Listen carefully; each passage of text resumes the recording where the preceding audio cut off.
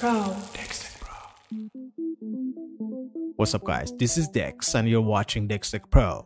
In this video tutorial, I'm gonna be teaching you how to flash ESP8266 mini Wi-Fi board to self-host PlayStation 5 exploit. First off, you need to just download Node MCU Pi Flasher and the exploit as well. The link is in description below this video that you can download them later. Then connect ESP8266 with USB cable to your computer. I am using my cell phone's USB cable for this video tutorial that you can use yours as well. As soon as you connect it to a computer, Windows starts to recognize and install proper driver for it automatically. You can check it by just going to Control Panel, Device Manager, then click on Ports to expand the list, and here it is. As you can see, mine is recognized as CH340, which means I am good to go.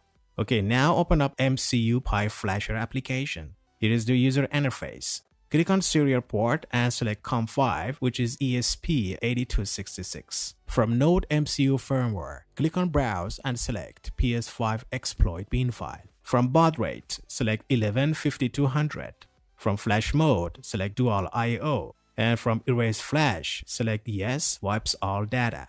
Okay, I'm all set. So I click on flash MCU node to start programming the chipset. It starts to connect and recognize the board first. Next, it erases the chip, making it ready to write our exploit file. And finally writes all the data on the chip of ESP8266. You gotta wait till it's 100% completed. Here it is. Firmware is successfully flashed, which is pretty awesome. Now unplug ESP8266 and plug it back to one of the PS5's USB ports. I mean, better to connect it to one of the ports available on the back of the console that you can just use the front one for charging your DualSense controller instead. So back to PS5. Go to Settings, Network, Settings, Enable Connect to the Internet. Set up internet connection and from the list, you want to select PS5 WEAP which is ESP8266 mini Wi-Fi board. The password is password, which must be in lowercase. Ignore this message guys because we don't need internet connection at all. So hit on OK to continue and it's connected. Get back to connection status.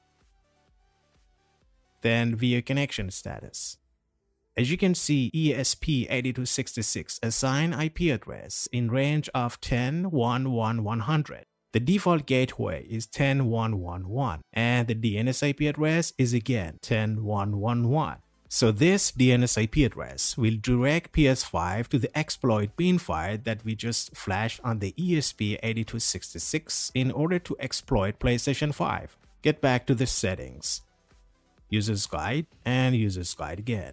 Here it is. Now we have access to the exploit. Hit on OK to start.